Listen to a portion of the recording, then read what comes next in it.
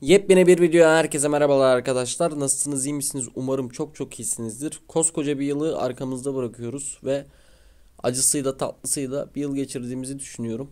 Yeni yıla başlarken ben de sizlere güzel bir video yapıp bilgilendirmek istedim. Umarım yardımcı olabilirim tekrardan.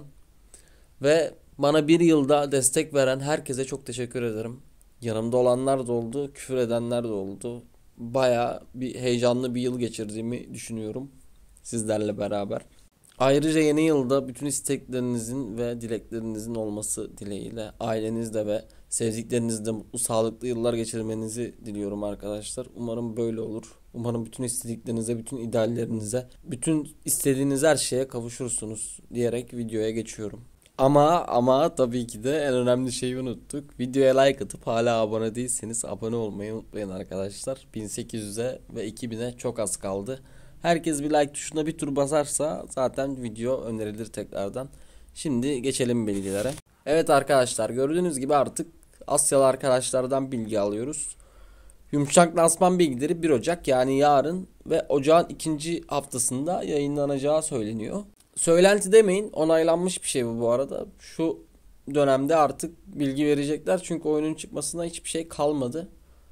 Hiçbir şey kalmadı derken daha global sürümün çıkmasına tabii ki de 4 ay var. Ama 4 ayda oyuna eklemeleri gereken çok şey olduğu için oyunu oynatmaları gerekecek. Bunun için de beta açmaları gerekecek veya soft launch açmaları gerekecek. Burada da sızdırılan bilgilere göre soft lansman tarihi 1 Ocak veya Ocağın ikinci haftasında açıklanacak gibi bir şey açıklandı. Bu daha önceydi. Hani bir 3-4 gün önceydi.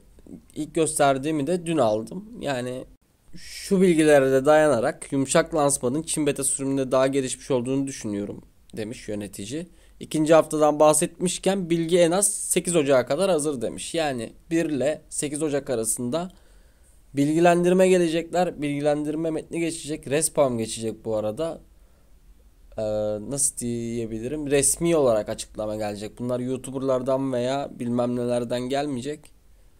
Respawn açıklayacak ve biz de artık Respawn'ın açıkladığı o tarihi söyleyeceğiz size. Böyle resmi bir açıklama geldiğinde biliyorsunuz ki kapalı betasında 5 gün veya bir hafta sonra betayı açmışlardı. Geçen yapılan Çin betasında da Asya betasında da mesela 5 gün önceden duyurdular. 5 gün sonra betayı açtılar.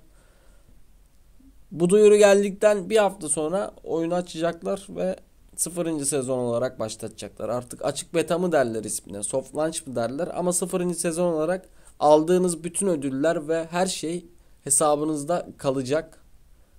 Artık %25'i mi kalır bilmiyorum ama kalıcı ödüller kalacak hesabınızda. Hiçbir şekilde sıfırlanmayacak. O hesap o hesapla birinci sezona gidebileceksiniz. Şimdilik bilgiler bu kadar. Yarın veya en geç 8 Ocak'a kadar tarih geliyor arkadaşlar. Kendinize çok çok iyi bakın. Yeni yılda dediğim gibi sağlıklı olun. İyi günler, iyi seyirler diliyorum. Hepinizi çok çok seviyorum.